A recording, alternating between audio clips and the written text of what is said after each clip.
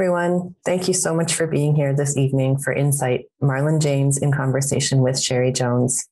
My name is Leah. I'm from the Vancouver Public Library's Programming and Learning team. I'd like to begin this evening by acknowledging that my home and the Vancouver Public Library are located on the traditional and unceded homelands of the Musqueam, Squamish, and Tsleil-Waututh nations. This evening's Incite event is presented in partnership between the Vancouver Writers Fest and the Vancouver Public Library. Before we get started this evening, I'd like to take the opportunity to share an upcoming library event with you. As part of Black History Month celebrations, we're hosting a conversation about issues of representation, equity, and diversity in sports. Join us online tomorrow, February 24th at noon for Changing the Game, a conversation with Black athletes. Rosie Ugoede, a multiple Olympic medalist and journalist, will moderate a discussion with Blake Bolden of the National Women's Hockey League, Troy Edwards, a fast rising hockey star, and also assistant coach Delroy Montague for the Valley West Giants U18 team. For more information on these and other events, you can visit us at vpl.ca slash events or by signing up for our email newsletter. And now please join me in a warm welcome for Leslie Hertig, Artistic Director of the Vancouver Writers Fest. Good evening and welcome to our third Incite of 2022, presented in partnership with the Vancouver Public Library and TELUS. My name is Leslie Hertig and I'm the Artistic Director here at the Fest. We're so glad that you could join us this evening and thrilled to be presenting a conversation between two authors who are no strangers to the Vancouver Writers Fest, Booker Prize winning author Marlon James in conversation with Women's Prize nominee Cherie Jones. Before we begin, the Vancouver Writers Fest would like to acknowledge that we conduct our work here on the unceded and traditional territories of the Musqueam, Squamish, and Tsleil-Waututh peoples, and we are very fortunate to be here, but cognizant of the work that needs to happen still as we move toward reconciliation and Indigenous sovereignty. I would like to take a moment to thank our event partners this evening, the Vancouver Public Library and TELUS, who make it possible for us to present events like this one free of charge. Thanks also to our government sponsors, the Government of Canada, the Canada Council for the Arts, the BC Arts Council, the BC Government, the City of Vancouver, and CMHC Granville Island. Thank you very much to all of you. And just a reminder that the Vancouver Writers Fest presents year round programming, and updates on our events can always be found on our website. Mark your calendars for our Incite events that happen every other Wednesday from now until the beginning of June. Coming up on March 9th will be a conversation between Sheila Heti and Joshua Whitehead about Sheila's remarkable new book, Pure Color. And now on to our event. Our moderator tonight shot to literary fame with her 2021 debut novel, How the One Armed Sister Sweeps Her House. Shortlisted for the prestigious Women's Prize, this novel captured the attention of numerous best of lists and was described by the Washington Post this way. Rare is the first book that reveals the writer fully formed, the muscles and sinews of her sentences firm and taut, the voice distinctly her own. But Cherie Jones's lavish cinematic debut, How the One Armed Sister Sweeps Her House, rises to that high bar. Cherie is joining us tonight from the Barbados. Our feature author this evening has a literary biography that just might be the dream of any writer working today. His novel, A Brief History of Seven Killings, won the 2015 Man Booker Prize. It was also a finalist for the National Book Critics Circle Award and won the OCM Bocas Prize for Caribbean Literature for Fiction, among others. He's also the author of the Book of Night Women, which won the 2010 Dayton Literary Peace Prize and the Minnesota Book Award, gaining him numerous other nominations along the way. His first novel, John Crow's Devil, was a finalist for the Los Angeles Book Prize for First Fiction and the Commonwealth Writers Prize, and was a New York Times Editor's Choice. When the first title in his Dark Star trilogy, Black Leopard, Red Wolf, was released, it was called gripping and action packed, and the literary equivalent of a Marvel comic universe. Now, that book went on to win the LA Times Ray Bradbury Prize, as well as being a finalist for the National Book Award, among several others. And now Marlon returns with a stunning second novel in this trilogy, Moon Witch Spider King, a book that's been described by a reviewer at NPR as one of those novels that broke my brain, but in the best possible way. Unwieldy and unrelenting, it systematically dismantled everything I thought I knew about epic fantasy. With the Dark Star trilogy, Marlon James has built a rich world brimming with African myths and legends, fantastical creatures, and Tolkien esque journeys. Please welcome Cherie Jones and Marlon James. Thank you, Leslie. Thank you. Um, it's so wonderful to be here. And thank you, Marlon, for joining me. I am absolutely over the moon to be having this opportunity to interview you. So, well, thank um, you so much. I'm such a fan of How the One Armed Sister Sweeps Her House. Oh, that are was you? the first novel I read in 2021. Oh, so you you set a very high standard for that year. A lot of novels didn't meet wow. it. Oh, wow. thanks so much. That means the world. I'm going to watch this over and over just to hear you say that. I'm just letting you know. Um, I thought we could start with you just telling us a little bit about Moon Witch Spider King and then mm-hmm. maybe reading an extract for us. Mm-hmm. So, if you could tell us a little bit for those of us who are watching who might not have read um, read the book, what would you say the book is about? And if you could then read an extract for us. Sure. Well, the first thing for the person who has not read this book, um, read the, the previous novel, Black Leopard, Red Wolf, the first thing I would say is you can totally begin with this book. Um, the Black Star is a trilogy. Dark Star, funny actually, is, is the name of the trilogy. The first volume is Black Leopard, Red Wolf, as we mentioned before. And in that story, a character named the Tracker told the gave testimony really about why on a mission mission to rescue a child, the child ended up dead, and who was responsible. And one of the the the call them villains of Tracker's story was this character Sogolon, who was called the Moon Witch. So for the second volume, um, I, you know, we ch- change per- perspective, change point of view to this so-called Moon Witch, this so-called villain, and what is her story. And her story ends up being very, very different from Tracker's. It goes without saying that Tracker doesn't come across well in her version, but in her version, what her basic argument is the story is even bigger than he could have thought it was. So the structure of the trilogy is three different characters telling the same, given testimony. They're basically telling roughly the same story, but the stories aren't that similar at all. And because the three characters telling the same story, because it's non-linear, um, you can actually read it in any order. Um, for the person who's new coming to this book, I highly recommend reading Moon Witch first um, if for no reason to start a new war on Reddit, because there'll be the yeah. people who read Black Leopard first and the people who read Moon Witch first, and I can yeah. I can already see the war on Reddit. Right. yes. So, would you perhaps just read a, a short extract for us, and then mm-hmm. maybe you can tell me why you chose that particular section to read? Sure. I um, this is it's a short section, but it needs a big setup. Um, you know, Sogolon um, for those who may know her already, and for those who don't, um, you know, did a lot of exploits, and she became involved in this mission, and she was sort of betrayed, and she ends up being seriously injured.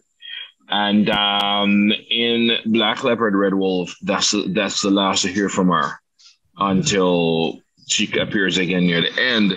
In in Moon Witch, we explore what happened after that injury when she was injured and abandoned and um, what exactly what exactly you know transpired in this section.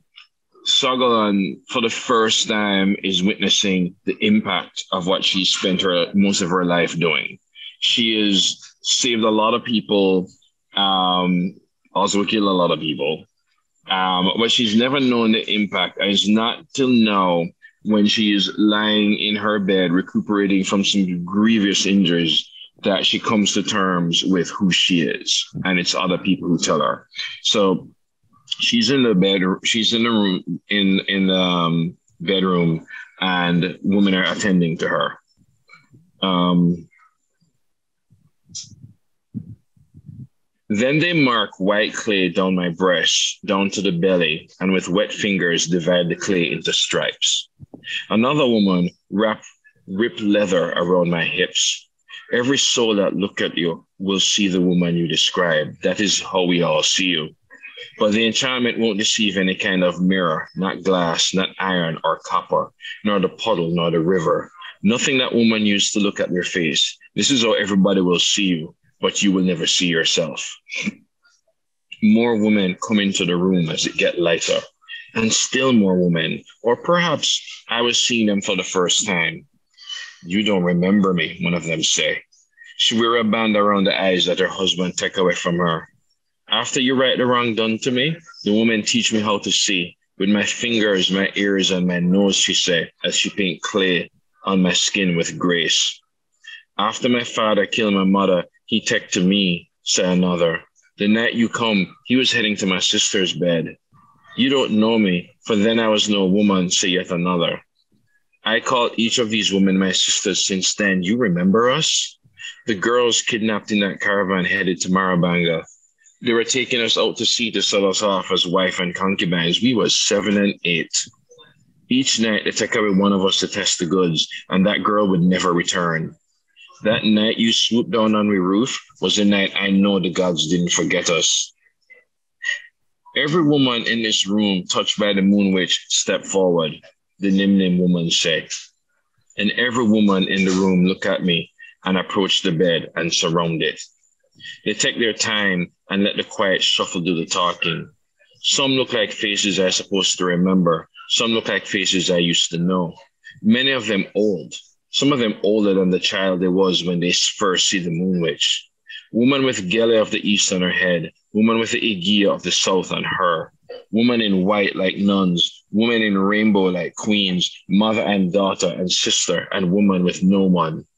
Woman with one eye, one ear, one leg, no legs. Woman, other women holding up. Women from the top of Mantha and from the bottom of Marabanga. Ghosts of women who come back from the other world to see the moon witch. And a crabby one who said, Why should it love that silver? Some with mouths packed to the brim with words waiting to explode. Some nodding quietly, their eyes saying, We see you, sister. Woman who steal a touch of my shoulder, forehead, woman who grab my hand until another pulled my hand into theirs. They packed the room right up to the doorway, and still more was outside, waiting to squeeze themselves in. A girl wormed her way through them to touch me and say, They couldn't move my mother, so she sent me. Moon is still flying through the trees, say another. Now, plenty women out there righting the wrongs. Plenty in the north and south saying, Moon Witch, she is me. Oh gosh, that is beautiful. That's absolutely beautiful. So, Marlon, you have this podcast series called Marlon and Jake Read Dead People with your editor, um, Jake Morrissey. And when asked if there was any book you wish another author had written, you said almost any book about a woman written by a man. Mm-hmm. and here now we have Moon Witch Spider King, written by Marlon James and featuring the amazing badass Sogolon. Now, you've said none of the great male authors ever pulled off a real woman. In Sogolon, have you managed to do what you know you've said none of the great male authors have done in pulling off and mm-hmm. painting for us a real woman mm-hmm. um man I'm, i must have been speaking some fighting words that day i'm surprised uh, my house has uh, first my house wasn't bombed or burnt down I, you yeah. know, I mean, I will qualify by, you know, saying a lot of what we consider the great male writers, you know, mm-hmm. the mailers and the updikes. And, you know, even the even the greater writers like Marquez and so on, and I didn't say it, but the one of the, one of the big fights that happened in, in Latin American literature was when Jose Donoso, the great Chilean author, said the one failure of all of us is that none of us pulled off a woman. Mm-hmm. Um, so it's it's um and, and and I think the thing the, the the problem when men write woman is the same problem sometimes when white write black or when male write female or maybe vice versa. And that's not to say we shouldn't. We should always write what we consider the other. We should always write people who are not us. Writing is an act of empathy, and and that's the, the, it's not a matter of should, but it is a matter of are we doing the work. Um, for me, Sogolon, I tried to. It's not the first female protagonist I've written. Um, and I remember all this stuff, you know, my, my, the greatest teacher for me for writing women have been women writers. Um, you know, Toni Morrison remains my teacher, even though I've never met her. Um, and the question, you know, and, and I, you know, make sure my characters have complication and, con- and, and, and contradiction, not not hypocrisy, contradiction, and that they um, don't they don't leave a novel the way they enter it. Um, so I, I hope so. I don't I, I don't know if I was fully 100% successful because I don't think any novel is 100% successful. Um, and ultimately, Sogolon is is you know is in a fantasy universe playing by rules that are not the rules we necessarily play by now. So I hope so. I certainly did the best I think I could do.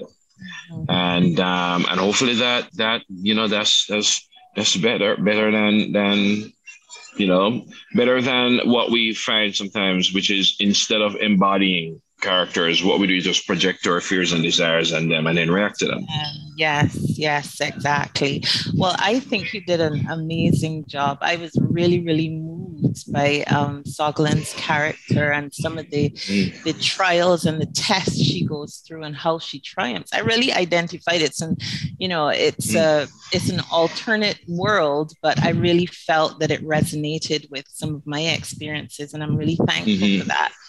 Thank um, you in sort of you're welcome. In sort of, you know, reading the book, I got elements of some of my favorite Caribbean female writers. So, you know, I read and I thought about Jamaica Kincaid. I mm-hmm. thought about, especially her short story, um, mm-hmm. Girl. I thought about Olive Senior. There was some, mm-hmm. just the way that you wrote.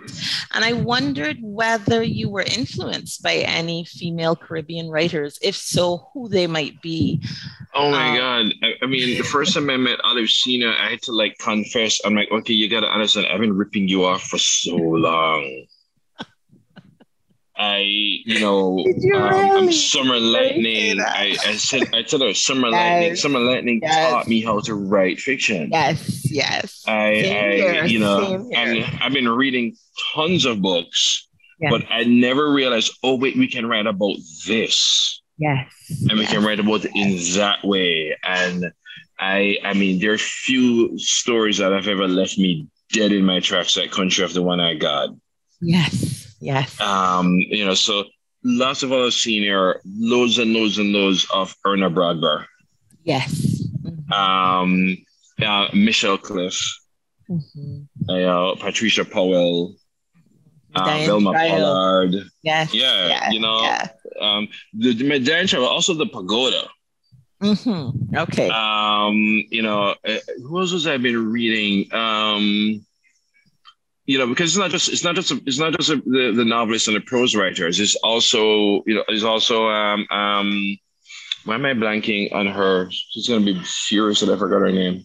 I'm trying to remember the. Oh my god, why am I blanking? Anyway, it will come to me because I'm trying to remember also the, the, the you know the poets as well, but also yes. you know going further back, you know um, Claude McKay, yes, you know yes. who is you know a male author, but you know yes. the, the, Caribbean the Caribbean forebears. But yeah, I I you know a lot of of my sens- sensibility, even writing a novel that's about Caribbean African African folklore, it's still te- still you know Caribbean writers will recognize the Caribbeanness Yes, because that's that's something that I found in reading, you know, the narrative. To me, the, the cadence, it was just Caribbean. I mean, it mm. was, you know, how you sort of delivered that voice was to mm. me it was it was Caribbean, even though it was, yeah. you know, African mythology. Yeah. Was that deliberate? Well, um not necessarily. I think I can't help being that, but I also, you know, was hugely influenced by by Pidgin. Mm-hmm. And Pidgin is very similar to Patois. We still play by the yes. same rules. In Pidgin, you also don't say the books; you say the book them. Yeah, yeah. And yeah. and and uh, you know the way in which we still use these words, like we'd say, you know, you don't say is is you know plenty of people say just yeah man, just spear of people outside. Mm-hmm. That's very Pidgin people. Pidgin in Pidgin you say it as well. Sussel to mean plenty. Yeah, yeah. There's pure sussel book out there.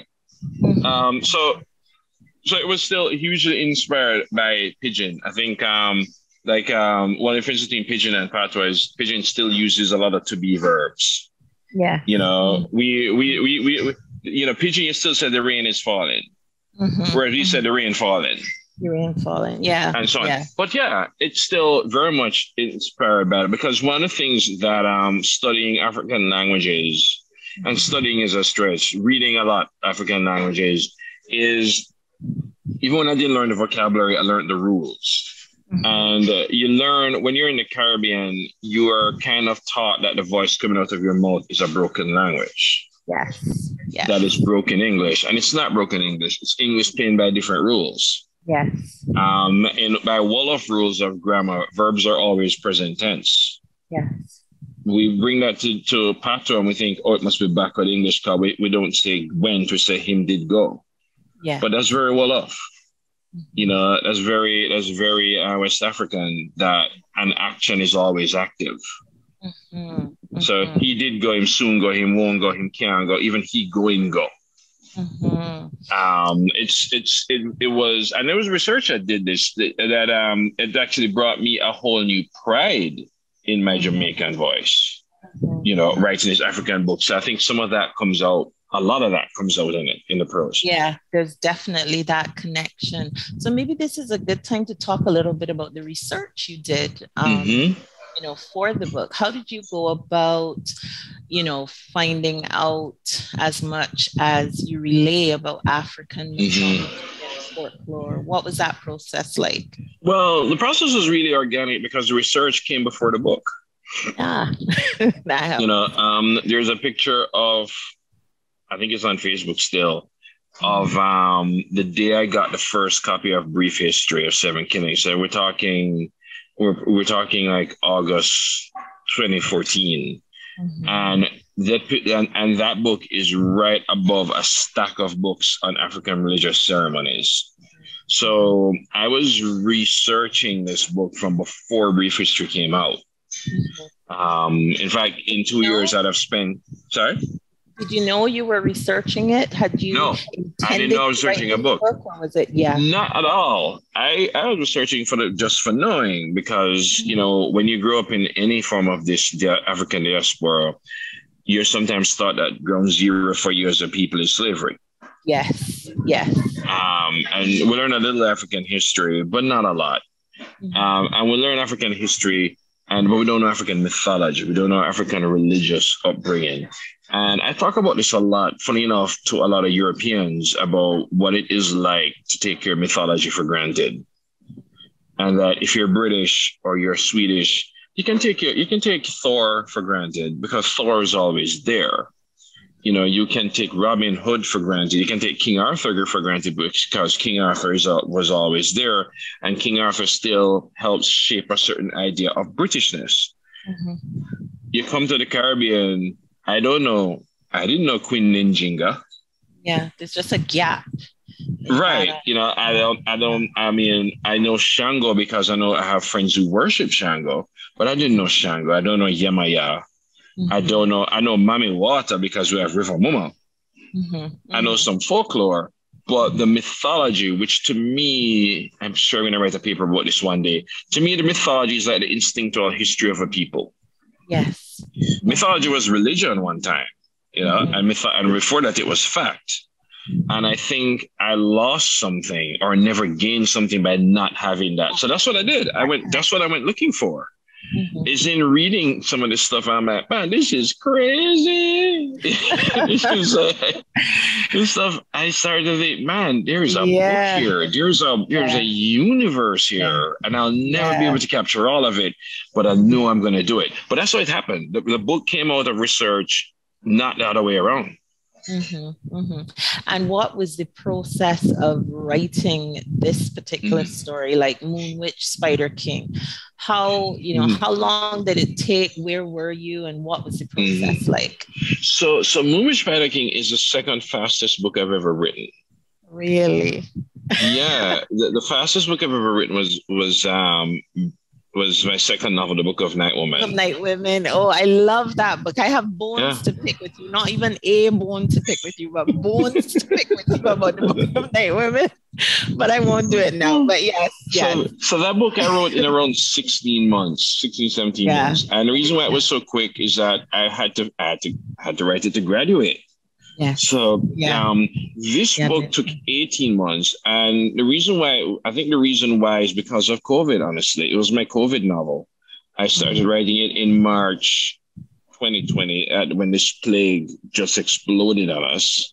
Mm-hmm. And I was in the middle of, you know, rural Connecticut at my partner's sister's dining room table. And I started writing this, this novel.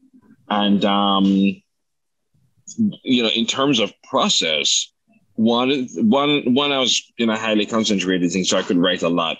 But I also had to trick myself into forgetting the first book. Mm.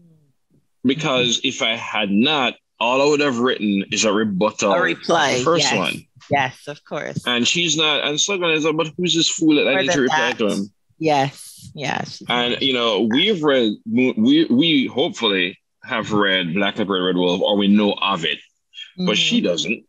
Mm-hmm. So it's different. If if if I want to interview two people because I want to get to the nitty gritty of what happened, mm-hmm. I can tell you what the other person said and you respond, or I can keep quiet and see what you say.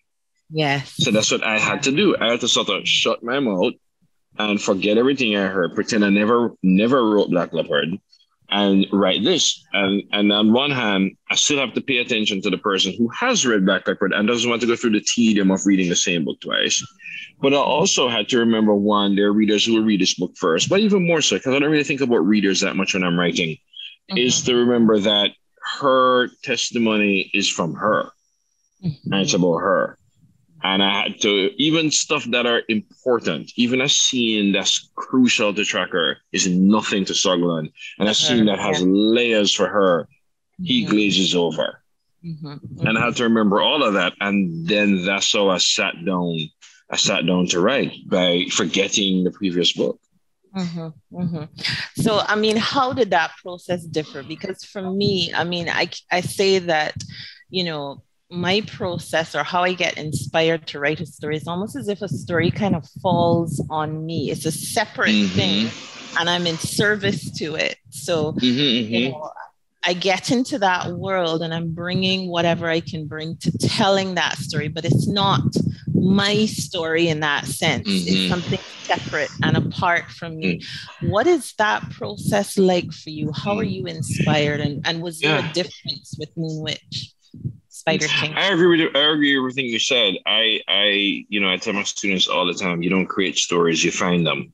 Mm-hmm, mm-hmm. And to me, when when I when I stumble upon a character, and a lot of times it's a stumble, mm-hmm. you know, they, they're already in their story.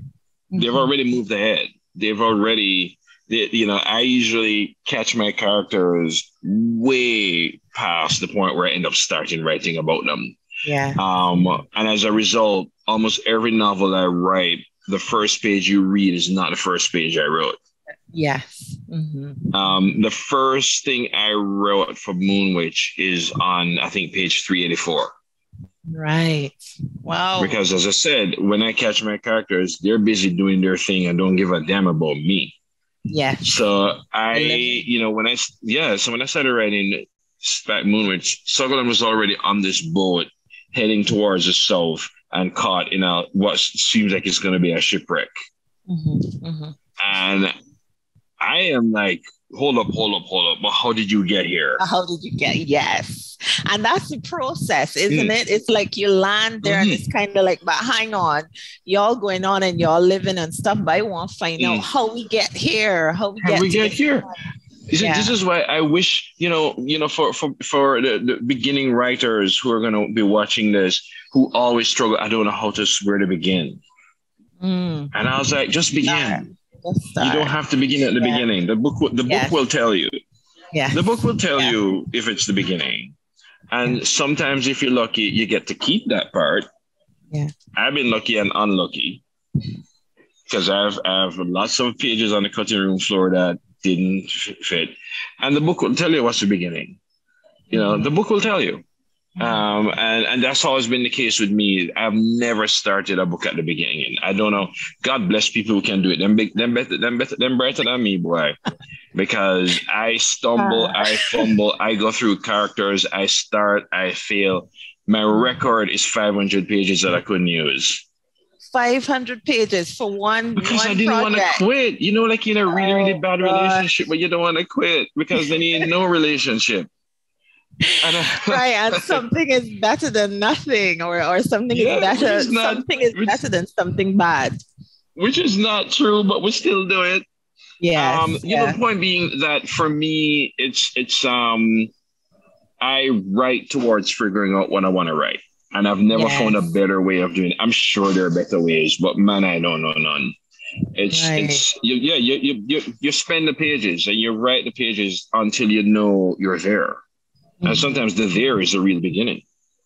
So this is a thing because you know this book is described as an epic fantasy and it's mm-hmm. over.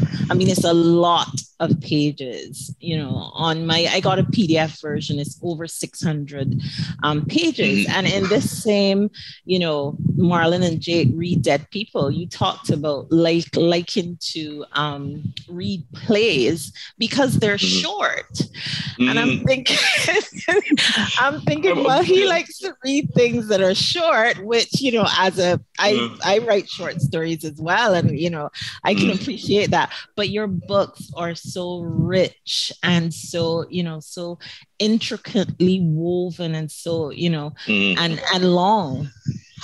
You know, funny enough, it was a short story writer that inspired me, inspired me to write long. And it's not she writes, she writes long stories too, but Alice Munro. Alice um, Munro, and, yes, yes. But not in a sense, Alice Munro didn't inspire me in terms of story length because then I'd have written short stories. Alice Munro inspired me because almost something about Alice Munro's stories is that where everybody else would end theirs, she continues. Yeah. And yeah. she's really interested in the afterlife of her characters. And yeah. that made me become very interested in the afterlife of my characters. Mm-hmm. I didn't think that would mean 600 pages though. I thought that would mean, okay, yeah. so then I'll write 30 more pages or so on. Um, but but yeah, Alice Munro is to be blamed. because I, I, I learned the I learned the interest in afterlives that she have. I didn't learn the brevity. Um, right. but you know, I, you know, when I write a novel or when I write anything, I enter a room. I immediately want to know everything about it. Mm-hmm. I want to know the history. I want to know the architecture. I want to know why brick here, but you know, Marta there um, mm-hmm. who are the last people in here and so on. And I and I, you know, and my characters spend a lot of time just being present mm-hmm. in mm-hmm. in their stories. And for me, putting somebody, making somebody present in a story takes a while for me. Mm-hmm. And I, I because I'm interested in everything. I think it's great though because it, it allows us, I mean, who are reading to to really enter into that world. I think it's easier because of the way that you do it. It's perhaps a little harder um, with the writer who a lot of other spaces. So there was another comment that you that you made. I um, listened to this um, interview, and you said some dead authors' lives are really fascinating, and their books were not. I wanted to find out is your life more fascinating than the stories you create? Is who's it mine? Say your life. Yeah, it's your life. Oh, absolutely not. Absolutely not. I'm I, I, keep going, oh my God, my biographer is going to have such an awful time writing about this boring dude. As I, that's if I even have a biographer. I was like, right. um, no, I, you know, I, I get my tea because as much as I scream about colonialism, I do love my tea. In right. fact, I'm just, I was you literally now, just yeah? having tea with my little tea bag sticking out.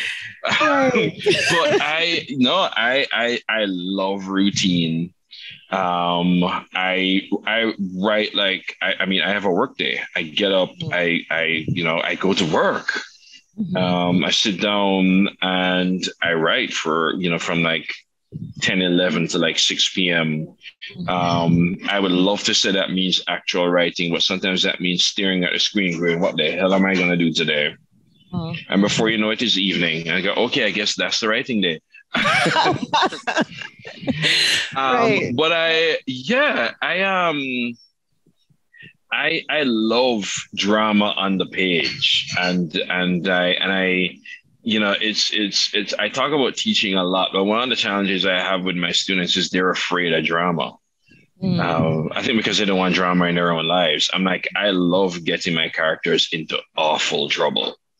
Yeah, and seen how testing you they, and, yeah and how they figured a way out of it because i think there's yeah. something uh, something very very human about okay. figuring yeah. our way out of difficult situations we're the only animal that does that yeah. um and you know it's it's it's i think there's a huge part of what makes us human i think that's something i think you know when a writer writes and is inspired to write i think what they're really saying is i figured out the part of what makes humans human that i want to write about mm. it's not always a nice thing mm-hmm. you know it can be jealousy it can be violence it can be you know um, relationships that fray or so on. But when I think that for me um, is what makes me, you know, makes me want to write.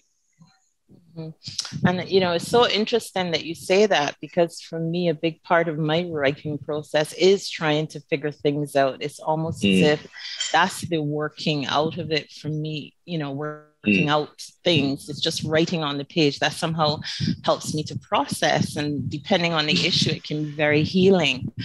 Um, but does that, was that, does that, I'm, I'm hijacking to ask you a question because I got me some questions about your book. So does that does that apply to because you know the one of the things I love about the about the novel is you know how how um you really get into so I, I really prefer preface is that I I'm very I'm always very concerned about how people write. Let's call them bad Violent. people, not yes. bad people, valiant yes. people, evil yes. characters, blah blah blah. Yeah. Um, in my mm-hmm. class, they know a hard rule: you do not get to use mental illness to do that. That's I don't have a lot of rules. That's one rule I have in my class. But mm-hmm. Adan, I saw the evolution of who he, he's essentially a psychopath in a way. and yeah, I'm very curious yeah. about the the ever how how how did he evolve and is there are there any parts where he started? Is it Adan or Adam? It's Adan. Yes. It, did and, you ever get to the part where Adan started to scare you? Um, I I don't think you know, there were things that he did that I found scary, but I think mm-hmm. from the beginning, I appreciated Adan as a human being and therefore a complex person. And based on my mm-hmm. own beliefs, I just felt mm-hmm. when we met him, he was perhaps more what people would call bad than good. Mm-hmm. But he didn't he didn't scare me. It was difficult to write about some of the things he did at at mm-hmm. points. But didn't scare me.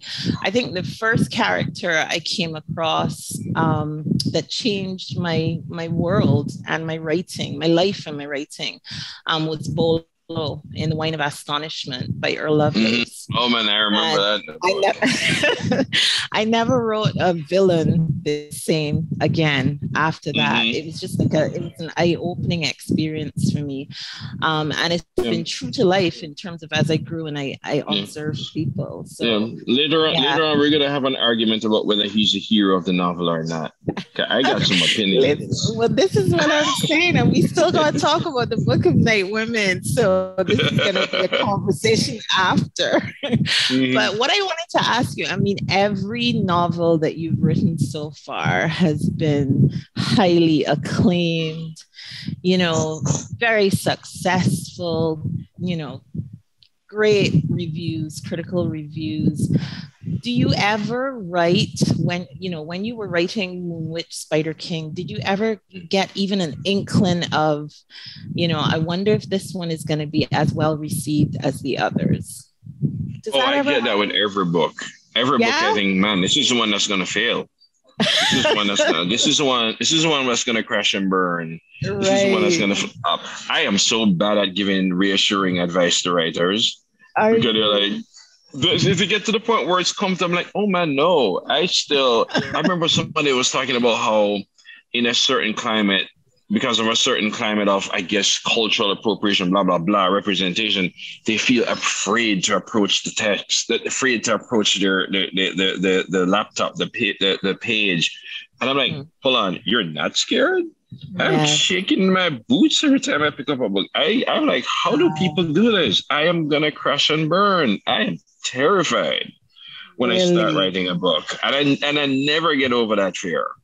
Um, I think I, I tell myself that either I'm brave enough or stupid enough to keep doing it, even though I'm scared. Mm. Um, and at times when I really do, I do fall for these characters and I become more interested, and my interest in them overshadows my fears about whether I'm writing well, yes, yes, or, or or so on. And I think after a while, you just have to get to the point where you're just thinking this is the best you can do at the time. Like I'm yes. doing my, you know, my best work. And and of course, post writing books, you can read reviews and and and reviews can be great. Um, negative reviews can sometimes be instructive, but negative re- negative reviews can sometimes simply be wrong. Yes, yes. Um, yes. and therefore and, can't reviews. Yeah, but I I um the doubt doesn't leave, but I think it's not, for me, it's not crippling. It doesn't stop me from writing. Being scared of something has never stopped me from doing it. Mm-hmm, mm-hmm. Um, and I don't, honestly, I don't want to approach writing with confidence. Mm-hmm. Honestly, I want to approach with some nerves. Yeah. I want to approach with some, I think, you know, I, I, I want to approach with, um, honestly, I think it also, it's, a, I think it, it's, it, it's it's for me it's humbling and i think you yeah. do have to approach writing with humility there's like an you implied know? respect there it's like if mm-hmm. you're you know you're not overconfident and complacent you know you approach it with reverence and respect and, and it shows mm-hmm. you know in what you come up with so mm-hmm. can you tell me about the one manuscript um, the one piece of writing, whatever it was that you did that never made it out into the world um, that you think is fantastic, some great, wonderful project. Um, what would it be and what was it about? Oh, man. I mean, I, I don't know if I have one of those. I mean, for a long time, that was my first novel. Mm.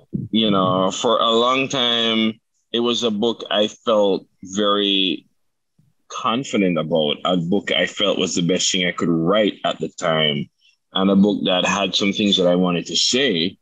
And um, I mean, it's an old story, you know, that um, pretty much every publisher turned it down.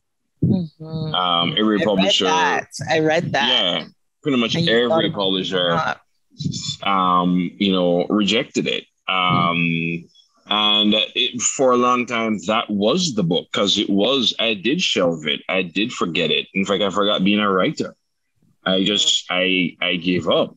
Um, you know, it's, it's, you know, the question that begs asking, can, can 78 people be wrong?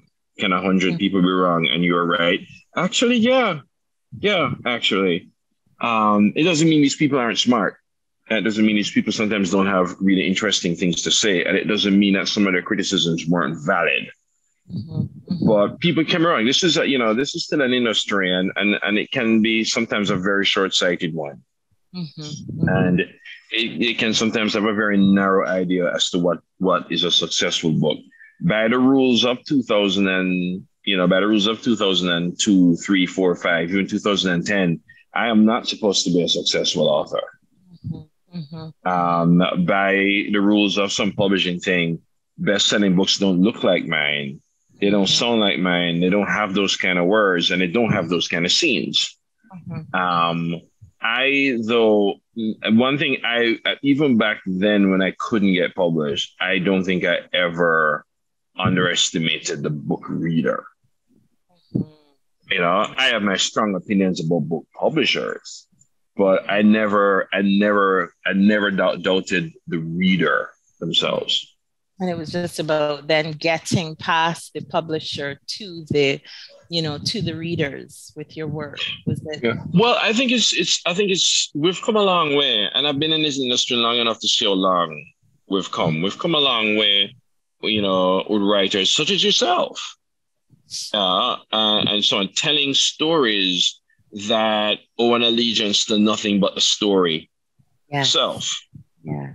Mm-hmm. Um, you know, it's there was a time where a story written in the language of yeah. of you know of how the one armed sister sweeps house wouldn't have been yeah. picked up by a, a major publisher.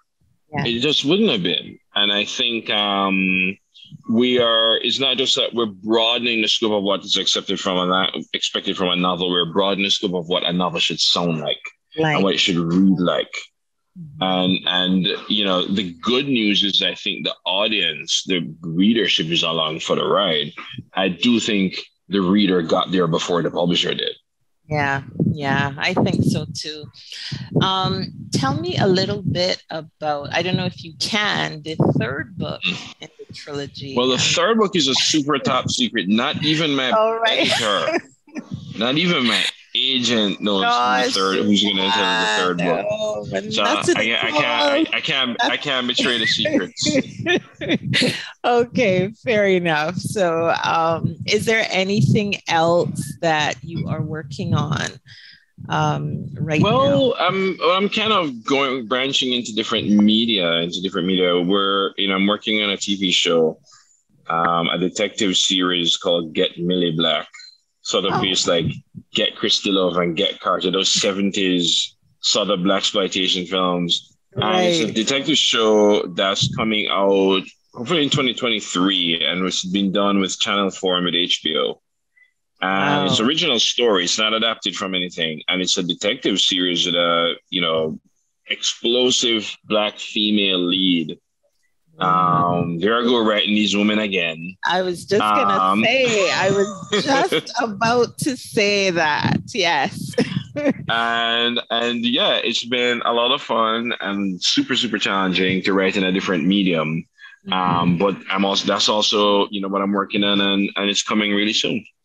Okay, so how are you different now? I mean, having written Moon Witch, Spider King, how is that different? How are you different as a writer? How has you how have you evolved from say the Book of Night Women? I think I have a a wider and maybe what I'm mean is freer idea of what a novel should be and what a novel should say and how it should say it. Even with with Book of Night Women, I still was, you know, in my mind anyway, nobody else is in my mind. I think I was still writing a sort of a classicist idea of a novel. Yes.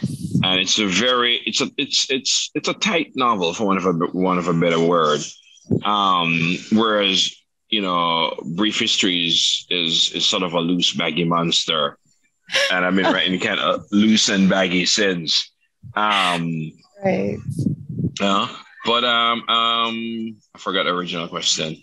Yeah, how how have you managed drifting with the writer? How right, but yeah, I, I I think I think um for me, I have stopped writing with my own sort of predetermined expectations as to what a novel should be. and what what how you should say and how you should say it.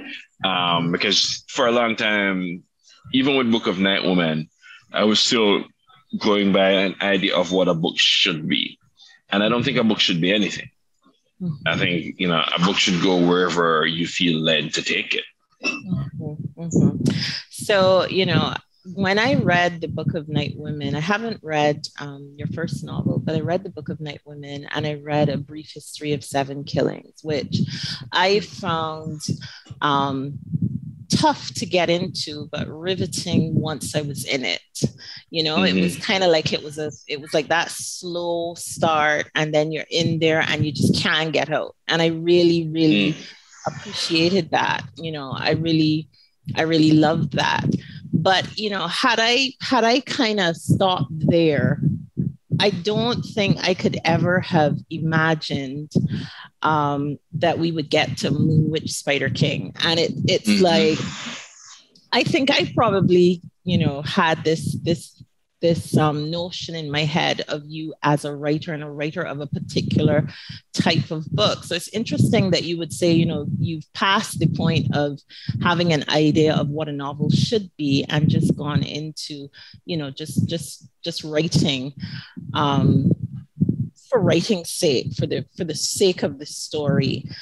Um, mm-hmm. But how would you respond to people who say, you know, you've gone from the sort of literary novel into, you know, sort of the, you know, fantasy sort of mm-hmm. genre type type novel? What would you? Um, well, I mean, I never, I don't, honestly, I don't have a problem with that. What I do have a problem with is a, a certain sort of genre snobbery that sometimes these people, yeah. these people have, as if the, the the literary novel, whatever that is, is some sort of superior form. Mm-hmm. Um, and I've always found this funny, um, you know, because I read a lot of social realist novels, and one and and we, we started out talking about men who can't write women. You know, I read a lot of novels with some very mediocre men who mm-hmm. probably have a wife and two mistresses. As I, and you think I am writing fantasy. yeah, it's it's um all fiction is I mean, Lord knows all fiction is by their nature speculative. That's why we call it fiction. Yes. Yeah. Um, but I think, you know, we lose something when we start to rank literature. First, we're forgetting that the first stories were the folk tales, were the mythologies, were the fairy tales, were the fantastical stories. Those were the first stories we had.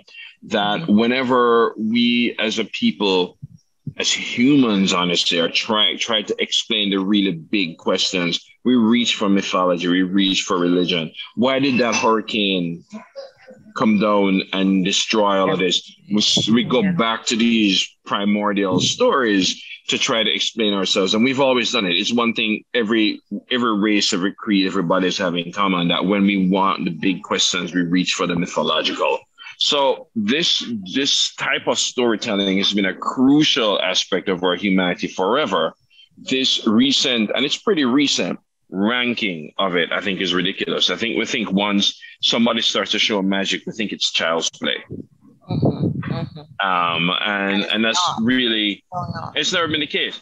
Also, for me personally, strange stuff happens in all my novels. Um, Brief History is, I guess, the closest I've written to a social realist novel. But one of the main characters is a ghost.